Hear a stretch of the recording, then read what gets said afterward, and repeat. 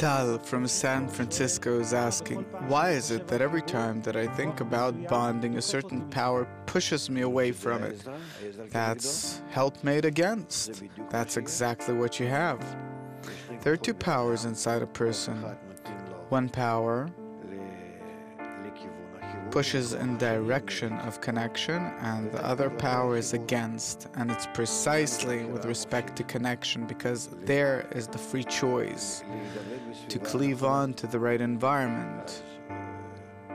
So accordingly he gets help from both. He's both being pushed inwards and also he's being pushed from the inside out. The person doesn't understand that he is constantly being balanced by these two powers. It seems to him as if he is being pushed away, driven from the connection. No, he is given the power to overcome according to what he has to overcome.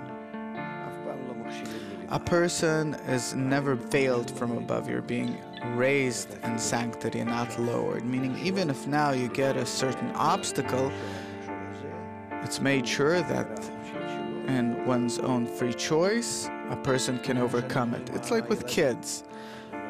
We give them exercises, harder and harder ones, in order for them to grow stronger.